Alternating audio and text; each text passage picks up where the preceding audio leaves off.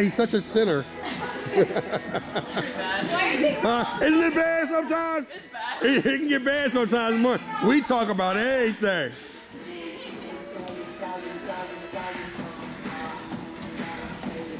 Come on, new. Yeah, you got it, newbie. Okay, your husband gonna love me. Come on, y'all. It's five o'clock. It's Friday. Nobody wants to work out. So on behalf of BOX-2B-FIT, thank you for coming.